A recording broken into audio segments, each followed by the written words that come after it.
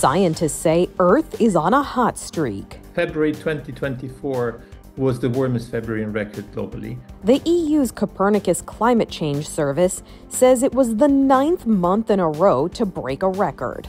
But the planet warming is a trend that has been going on for much longer. We have seen over the last few decades a piling up of greenhouse gases in the atmosphere, which bring up the temperature of the entire planet. European climate scientists say the changes may seem gradual to the everyday person, but they add up to big climate consequences like warming oceans and extreme weather. Every fraction of a degree means a tangible impact on ecosystems, it means a tangible impact on people's lives, on their livelihoods, and we are going to see more extreme events. Now they're wondering how long this trend has to continue before there's serious action taken to reduce greenhouse gas emissions.